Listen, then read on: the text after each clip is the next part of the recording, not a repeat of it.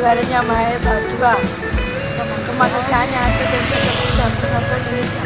empat kerakyatan yang dimiliki kalau hikmat bilang meninggalkan perwakilan lima keadilan sosial bagi seluruh etnis